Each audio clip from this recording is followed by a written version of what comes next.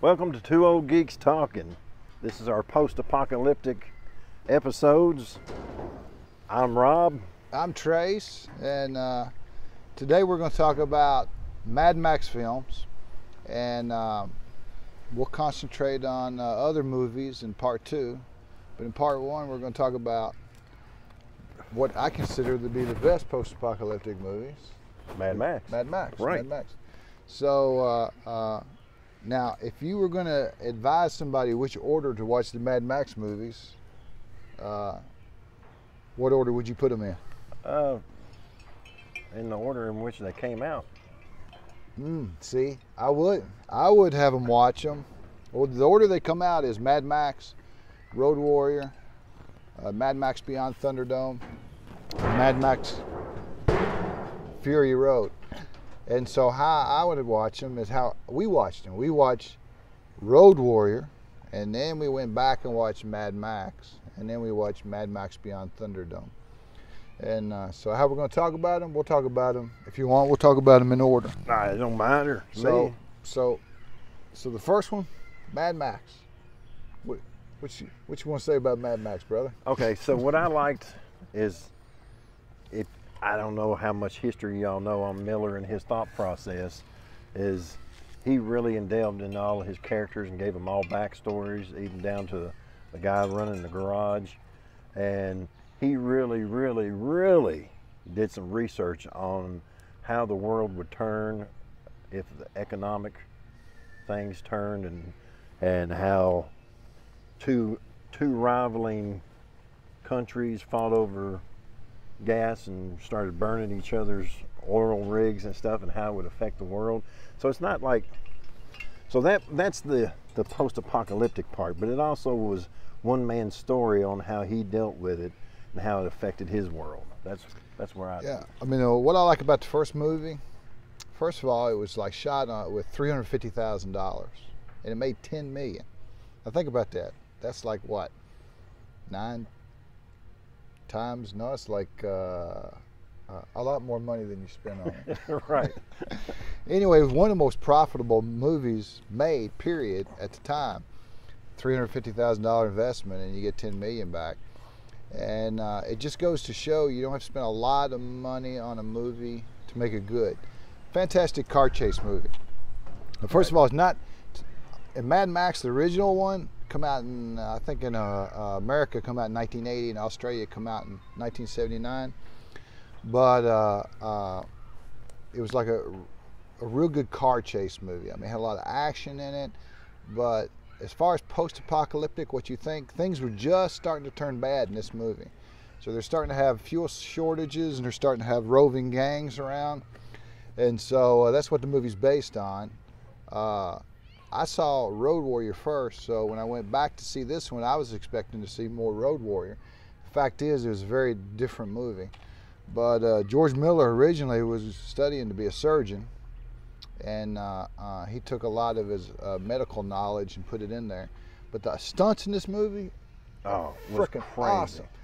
Now this is a time where we didn't have CGI, so if you want a, a motorcycle to hit a guardrail and a guy to flip over end and land in a creek, That was a real guy. then you got to ask an Australian stuntman to do that, and they're like, "Hey, mate, hold my beer, I'll do it." Yeah, it was rumored that the man had died, but he didn't. He, Yeah. I think he suffered several broken bones. Yeah, yeah, I think he broke his pelvis or something like that. But the thing is, is that uh, even the camera work, you had guys on motorcycles, another guy hanging on the back with a full-size camera, leaning over to film these shots as they're going down the road. They wouldn't even allow you to do that nowadays. So there was one- there was one scene where they laid down a couple of motorcycles, and a motorcycle come back and hit a guy in the back right? of the head. Yeah. And I mean, you're thinking, yeah, he, he- He's dead. He's dead. He's He's dead. dead. And uh, uh, but the but the movie's the movie's fantastic. The house that uh, Mel Gibson had in this movie, you can actually rent it out today. It's on the coast. Oh yeah. and You can actually rent it out today, and Huh. uh, like a little bed and breakfast type thing. That's pretty awesome. But uh, Mel Gibson was 21 when he made this, and uh, uh, it just shows you and what a fantastic. You can already tell what a fantastic actor he is, and uh, uh, it really shows through. I mean, because 21 years old, I mean, I don't care how long you've been studying the craft. You've only got 21 years of life to draw on. He did a, he did a fantastic Right. job. If you haven't seen this, you should see it. Rob says you should see it first. I say you should see it second, but definitely see it because it's a it's a kick butt movie. So the next Mad Max is the Road Warrior. What Right. you, what you want to say about that, brother? Mm, let me see that. So, I love the way it. I don't know how many years later from the original it was supposed to have taken place. What is it, like three or four years? Yeah, yeah. And you can see how much the world had changed and how much it had progressed into uh, rival gangs, uh, factions forming. A lot of like people do on the show Grateful Dead. Yeah. You know, Yeah. you've got a group of people and they're Walking just, Dead. or Walking Dead, Yeah, yeah, yeah. Walking Dead, and uh, they're just trying to survive. And you know, who don't love Humungus? Oh man, he's great. He's fantastic. I mean, I, I mean, to me, this is like, uh, you know, there was a lot of rated R movies we couldn't see, and so when VH, when we reached a certain age and we could see them, and VHS was available, you know, we we nosedived in as many rated R movies as we could. Uh, Road Warrior was one of them. This was actually called Mad Max 2 everywhere except for America. But since Mad Max wouldn't the first Mad Max wasn't really popular that popular in America, it, it had a uh, they didn't have the original Australian soundtrack from the first movie. They had it dubbed over with Americans because they thought Americans couldn't understand Australian. And if you ever do watch the first one, make sure you watch it with the original uh, Australian soundtrack. So a lot of people didn't even know about Mad Max when Road Warrior come out. Now since then, if you buy this today, it's a Mad Max 2 Road Warrior. But when it come out of theaters, it was just Road Warrior. And uh, uh, just the guy wandering through the wasteland comes across uh, a group of people that uh, uh, are refining oil and you know gasoline's everything, and uh, so he helps them against a bunch of uh, wasteland bandits. So yeah, it's fantastic. I mean, uh, in every movie there's always one prop or one thing you know like blade runner i love his gun but in this movie it was the interceptor Oh, who man. did, who did and the fact that they brought it back from the old original movie mhm. that was just like mm, i yeah, love it was that a Ford Falcon, and uh, uh, they only made like 300, 300 of the Australian editions. Uh, steering wheel on the uh, other side. I won't say the wrong side because of them. That's the, the right side. right But uh, uh, they're real sought after after collectors. Love to have one. Few guys have spent hundreds, you know, hundred, two hundred thousand dollars on getting one, shipping it over to America, and restoring it. And uh, I'd love to take a ride in one or just to gaze at one at some point. if i'm not mistaken the original when they done the first movie it set it just sits in a garage or not a garage but a junkyard and then eventually when the second movie came out they pulled it back out they modified it put the two big tanks in the back to hold fuel and then it ended up getting bought and it resides i think might still reside in florida Oh yeah, yeah yeah. I would love to see one fixed up, let alone the original one. right That was a that was a great movie. You had uh, Bruce, I want to say uh, Spence, who played the real skinny helicopter pilot. right right right I mean, this guy's so skinny he could turn sideways and turn invisible. When he he's was- done a lot of great. good acting And, it, and there's like I think I think Mel Gibson had like nine lines of dialogue or something to that effect in the movie, uh, because it's a action movie. right You read a book and it tells a story with words, but there's something you can do with cinema you can't do with a book, and that is you can tell uh, a story without words, and that's what George Miller's a master of. And so, uh, even without a lot of dialogue in the movie, it's action packed, and, and you definitely you definitely should see this. So then the next one was Mad Max Beyond Thunderdome. Okay, what's your thoughts on that? Okay. I'm just going to say Tina Turner. I know she was in her 50s at the time, but for a young man seeing a woman in chainmail, I was like, I enjoyed that. So Yeah, yeah. now, now the uh, what got me about the whole storyline is I at first I was confused because the children that were waiting for uh, Major, what was his name? Uh, Captain some Cap, another. uh, Captain Young was it? yeah, Captain yeah, Young? yeah. I think so. Yeah, Major Young. Major Young. uh, when they were doing the remembering, they were remembering an apocalyptic, an actual nuclear war. So that means somewhere between the second one and the third one, a nuclear war happened after the fact, in between those two movies. Right, right. And that, but when I was watching it, it was kind of confusing for me because I knew that wasn't the fact with the first two movies. So that's, I love the movie. I love the whole Barter Town, the way they had Oh, that fixed great. up. Yeah, yeah, yeah. Uh, but the story kind of threw me off at that time. Now, now I've looked into it and got myself more familiarized with it. I enjoyed it. I think they they went the PG-13 route, and they thought to themselves that you know they would be able to get more people into the movie theaters if they made it PG-13. The fact is, is that some movies shouldn't be PG-13. Mad Max would be one of those, and uh, so everything was toned down a bit. Uh, I thought Mel Gibson did a fantastic job. Bruce Spence was in this one again, playing another character which is confusing because he looked exactly like he did in the second movie. So I'm See, not really sure and- why they did For a while, I thought it was the same. yeah, character. yeah, yeah, yeah, yeah. So that was kind of screwed up. Uh, but Tina Turner did fantastic. Thunderdome, two men enter, one, One man, man leave. leave. Two men enter, And one man that has been used a hundred times. yeah, over. yeah, yeah. That is uh, you've seen in Rick and Morty. You've seen a lot of things. So, so uh, that was awesome. And Master Blaster, It's Oh, yeah. fantastic. Yeah, yeah. So I'm going to segue off this to something else. Uh, you like Ren? You like Ren fairs? I like Oh, Ren yeah. fairs. Yeah, yeah, yeah. Well, they have a, uh, a post-apocalyptic Ren fair. I guess you, it's called Wasteland Weekend. Right, I've seen. But they actually have a videos of that. Thunderdome they built. Oh, are you, you get in there and they have the straps, and you beat the crap out of each other with uh, big foam weapons so nobody loses teeth or lives. But uh, uh, I would love to go there and fight Yeah. you in that. That would be awesome. It'd be awesome until I kick your butt. Yeah, yeah. Well, I guess that's true. I guess that's true.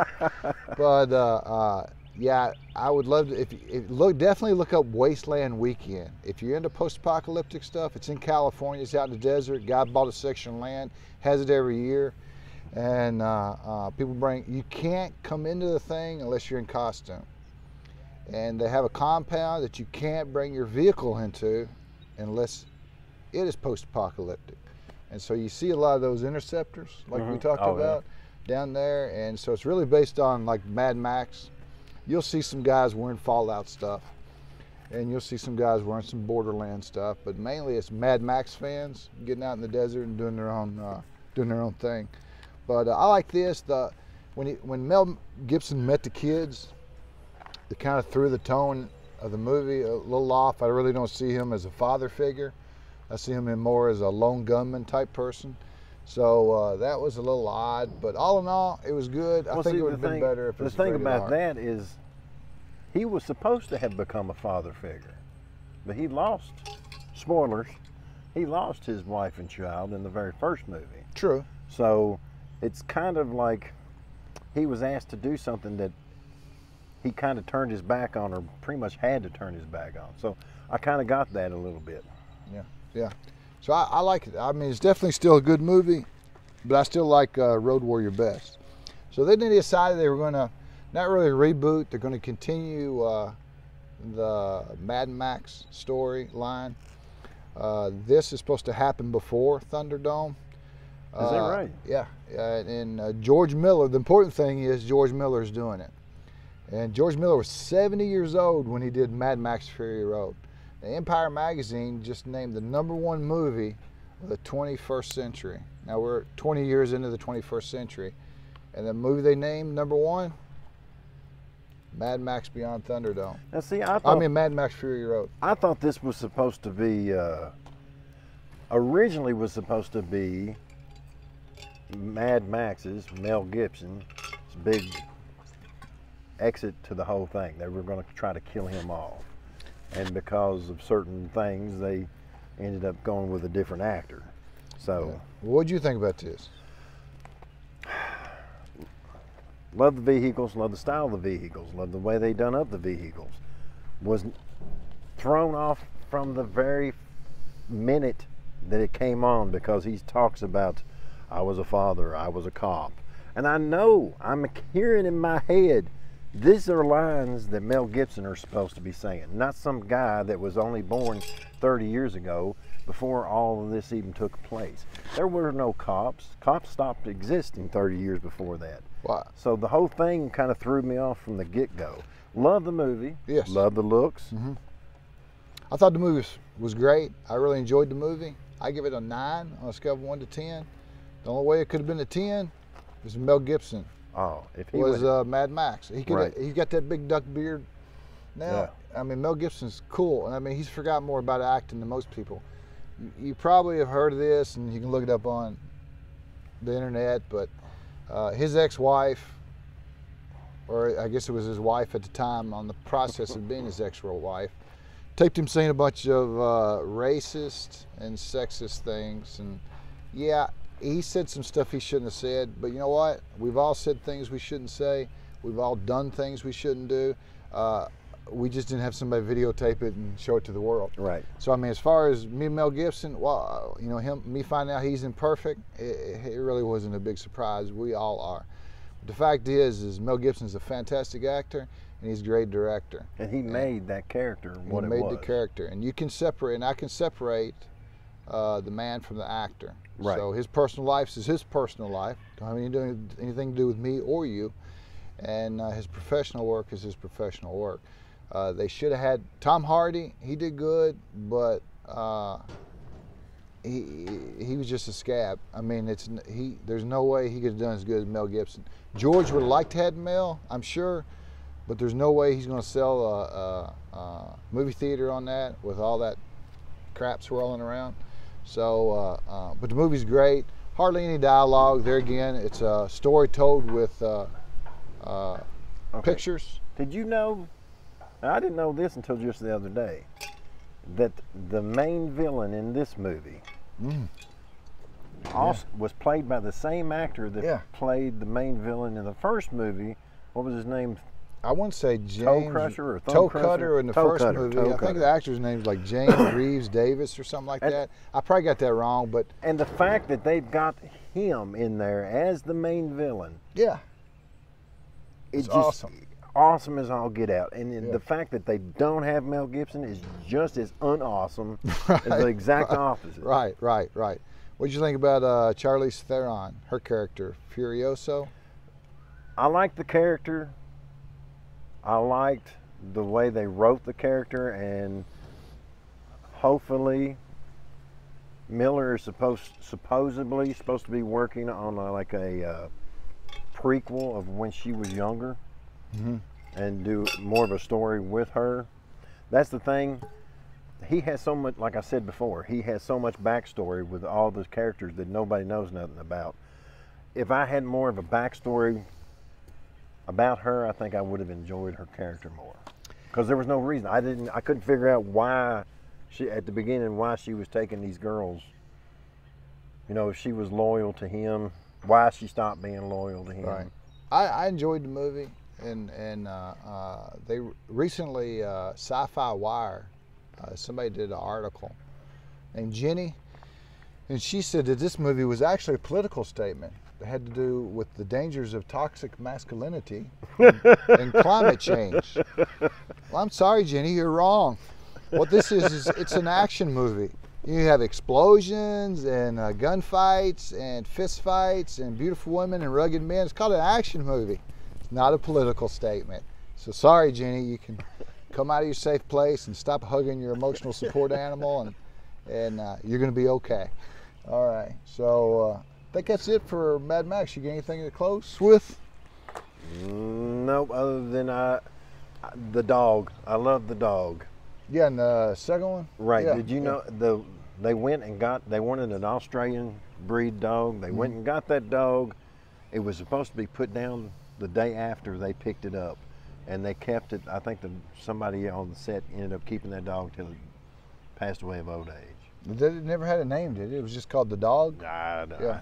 This That's is what I think. this is for the dog. This is for the dog. That was actually some of his dog food that he ate. Okay, all right. All right. i think done. we're, I'm done. You done? I'm done. You done? All righty. All right, we're done, man.